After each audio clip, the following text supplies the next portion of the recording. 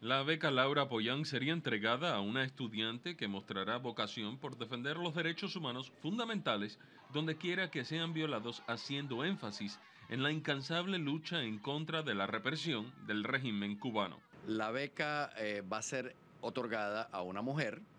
Eh, las candidatas tienen que solicitar la beca y en su solicitud deben incluir un ensayo donde describan la importancia del respeto a los derechos humanos, el respeto a la dignidad de la persona humana, eh, eh, cómo promover eh, democracia y libertad en cualquier lugar en que, en que no la haya. y un comité va a evaluar todas estas solicitudes y a escoger a una persona ganadora. Según Rolando Montoya, preboste de la universidad, la institución educacional ha querido aprovechar la ola internacional de solidaridad que ha desencadenado este triste suceso para que el nombre de Laura Poyán, quien fuera profesora de literatura de la enseñanza media, permanezca por siempre en los anales educacionales de los Estados Unidos.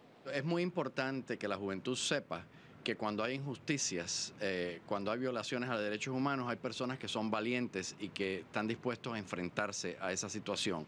Y ella es un ejemplo para todos nosotros, es un ejemplo para la juventud en cualquier parte del mundo y nosotros queremos honrar la memoria de ella en forma permanente, queremos que quede para los anales de la historia las contribuciones de ella, lo que ella hizo y por eso queremos que, que esta beca pues continúe aquí en el college. Montoya también nos habló que esta beca fue fundada para que los estudiantes de hoy y del futuro sepan que la injusticia siempre ha tenido adversarios dignos que queden en la historia después que las dictaduras han sido derrotadas. Como dice el dicho, no hay mal que dure 100 años, pero necesitamos gente que esté dispuesta a luchar contra el mal y ella es un ejemplo para todos.